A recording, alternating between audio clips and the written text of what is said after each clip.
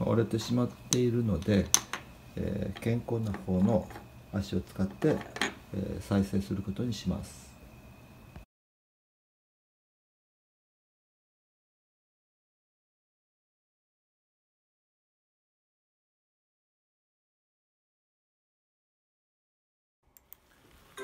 材料が、よく煮立ちましたら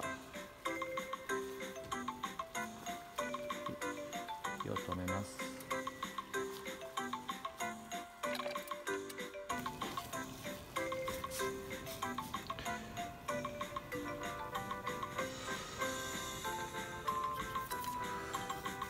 ぶせます。は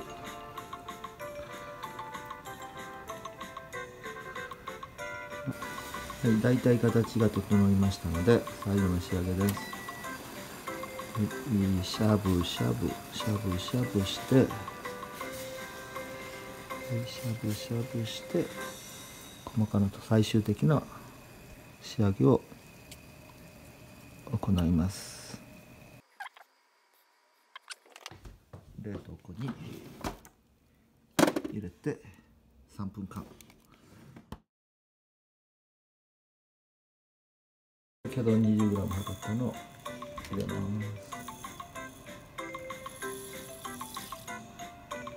はい煮立ちましたので作業開始します。はい。一回端が大なんで端で端に詰め込みます。ちょっとしつこいでしょうか。あちちちちちちちってできました。元がこれでメス型。出来上がったものらしいですがほとんど骸骨のようでかなり気持ち悪いですまあこれで歩くことができるのでありましょうか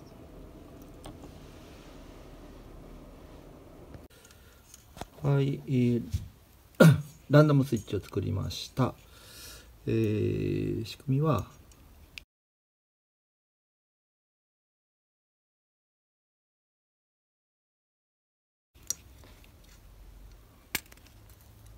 えー、中に、えー、こんなものが入っててそして裏側に電極があってそれがぶつかるとスイッチが入ると。そういう形ですね。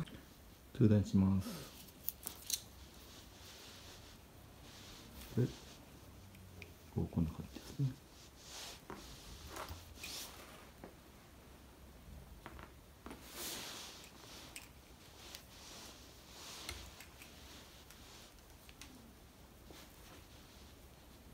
はいオペ始めます。電気ます。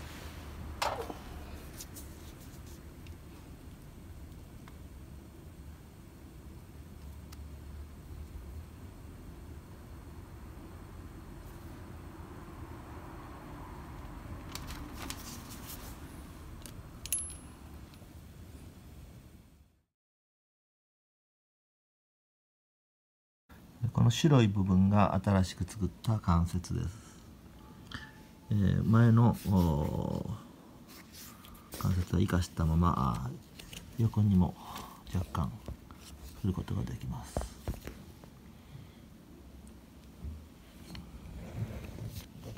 こんな感じですね。木とプラスチックのハイブリッドです。